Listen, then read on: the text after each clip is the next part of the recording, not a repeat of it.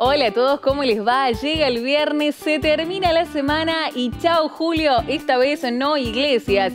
Pero les cuento que se viene con muy buen tiempo en la mayor parte del país. ¿Habrá novedades? Claro que sí, y bastantes. Con atención, escuchen que las máximas en el centro y norte argentino van a aumentar. Viento norte para la mayor parte del país. Si bien en el sur argentino continuará el frío, pero también ahí vamos a ver cómo aumentarán las temperaturas. Les quiero contar que para el noreste y litoral vamos a tener máximas para este día viernes desde los 22 hasta los 23 grados, con cielo parcialmente nublado y despejado para la provincia de Misiones.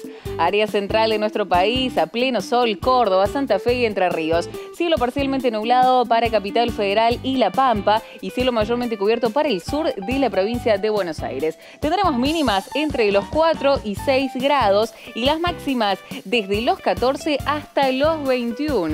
Vemos entonces que todavía van a continuar algunas nevadas en la zona cordillerana de Cuyo, pero para las provincias de San Juan y Mendoza el cielo estará despejado. Muy buena amplitud térmica. Tarde muy agradable entre los 20 y 21 grados. 19 para la provincia de San Luis, mínima de 5 y además con cielo parcialmente nublado.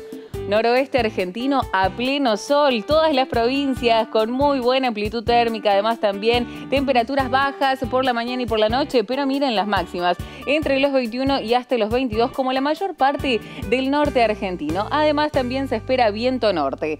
Vemos entonces que en la Patagonia el buen tiempo estará presente en la provincia de Río Negro y Neuquén con cielo parcialmente nublado, máxima de hasta 18 grados.